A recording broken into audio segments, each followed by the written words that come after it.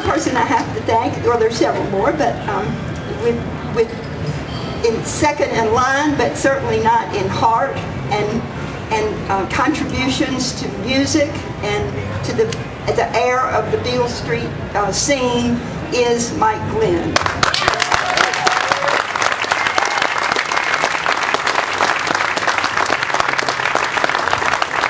Mike Glenn is third generation on Beale Street.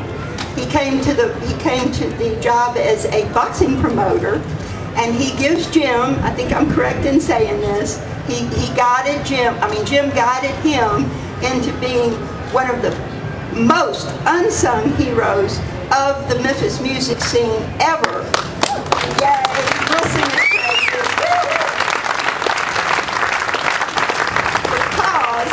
he brought in every young band you can think of that needed a venue, that needed some support, that needed some experience, and he said, go for it.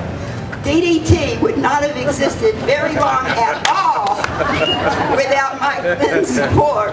And he would, uh, he, he, they play down here, there'd be six people in the audience. He'd say, oh, come on back next week, next next month. It's gonna, it's gonna build. And then, of course, with the All-Stars, um, it, was like 20 people, then 200 people, then 2,000 people, and it had legs of its own.